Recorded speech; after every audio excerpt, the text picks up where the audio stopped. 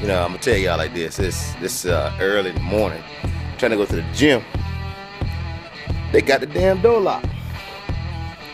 I'll tell y'all something, man. You know, it's sad. Some real sad shit. That's okay. Uh, we're gonna do this weight thing.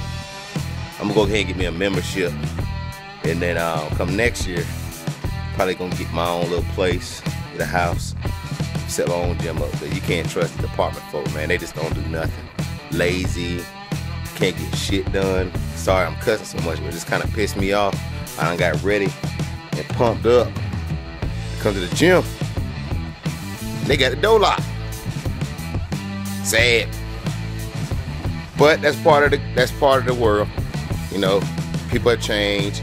People get lazy. You know, I'm old school. I like to work. So, young folks, you ain't gonna make it. I'm just playing. But yeah, don't don't don't slip. Don't slip. All right.